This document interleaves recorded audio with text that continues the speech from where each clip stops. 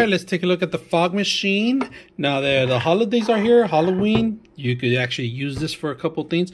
The liquid is not included. You're gonna have to provide your own fog liquid. And this is actually for the actual smoke, all right? And It comes with an antenna and you can just unlock it and start using it itself, all right? So you could lock it in by accidentally hitting it or anything like that. It's going to prevent from doing that. Now let's take a look at the actual back end of it.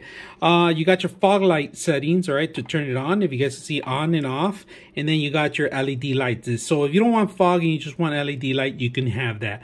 And then here, auto fog, you could have it on or off. This is an option to have too. If you don't want it to turn on uh, uh and you want a remote control, you can do that on cue if you're doing a play or anything like that, or maybe a Halloween event, this is it. You can actually see minimum to maximum. It is a little see-through on the actual system itself where you're going to see how much how much fluids there is actually in there. All right, so you are going to need to provide your own fluids. This, you're going to have to add this part to it. All right, so that's something that you're going to have to add to it.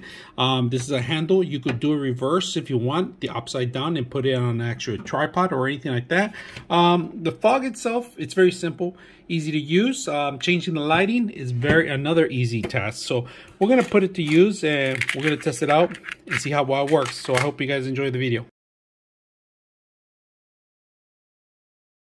This fog machine comes with multiple the multiple settings that you can do, lighting, and check out it comes. They give you two adapters, two extra controllers. So we set up automatically to keep constantly throwing smoke but this is a lot of smoke and look at the smoke color. It changes. I'm gonna make it change. Beautiful lighting. And you can see my dog right here with the actual effects on it. But incredible smoke smoke. Look at that. Tons of smoke. Many hours you can use this for multiple events. Not just Halloween, but also parties any kind of festivals that you're gonna have that you want to use a smoke effect. Simple to set up.